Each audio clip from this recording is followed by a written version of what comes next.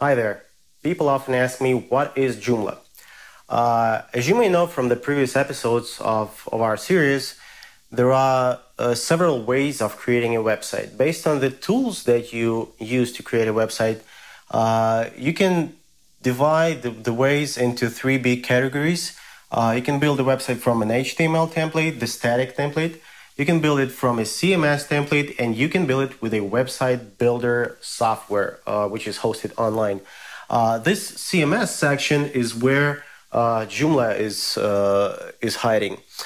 Uh, Joomla is, uh, is a software that, that is used to build websites. That's a content management system. it is pretty old and it's pretty popular, or at least it used to be, but more on that later. Um, there are several things that make Joomla special. Uh, the first thing is that it's open source. Uh, this means that it is free to use. You may download it and you may uh, use it for, for your website and you will not have to pay for it. Uh, and uh, what's also very important about it is that its source code uh, is available for modifications. this actually leads us to the, to the next uh, special thing about Joomla, uh, which is its architecture. Uh, there's something that you can call a core functionality of Joomla, uh, and there are things that are built on top of that core functionality, which would be the, the design theme and the extensions. With the design theme, it's pretty obvious.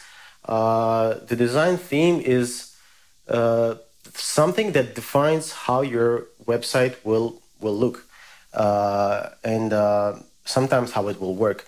The extensions are the bits of, uh, of functionality uh, that your website needs and that are not included into the core functionality.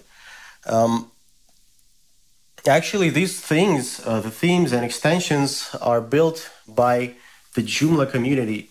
Uh, the, the community is is pretty vast actually. That's because of the uh, the open source status. A lot of people build the extensions for Joomla. A lot of people people build uh, themes and design templates for it. Uh, and uh, what's the most important thing about the community is that uh, the community communicates uh, the problems of Joomla and provides assistance to people working with with this CMS. Uh, so that the uh, uh, the web professionals wouldn't feel left alone with this whole thing. Um, speaking of the the the left alone thing, as cool as this whole thing may sound, I have to admit that Joomla's popularity is falling pretty fast currently. Um, the uh, the competition on the market is getting pretty rough, uh, and uh, uh, because of the stability and uh, security issues, Joomla has lost a lot of its popularity over the past five years. It has been on its peak around uh, six or five years ago in 2009 and 2010.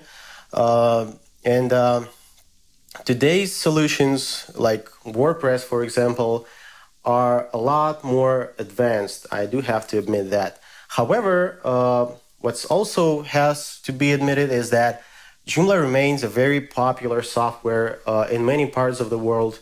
Uh, it is still used by hundreds of thousands of, of professionals all over the world, and uh, it can be used by beginners and uh, and by seasoned professionals. So it's just something that uh, that you have to get used to, and uh, um, the the bugs and and the other things about Joomla that, that some people don't like can be fixed. There are extensions that may uh, they may fix that. So uh, Joomla is still an active uh, an active player of the CMS market. Um, I hope this answers the question. Uh, Joomla is a very very vast topic to talk about, so it's just the tip of the iceberg. Uh, if you have any questions, feel free to ask them in, in whatever way that is more convenient for you. Uh, until then, I'll see you next time. Take care. Bye bye.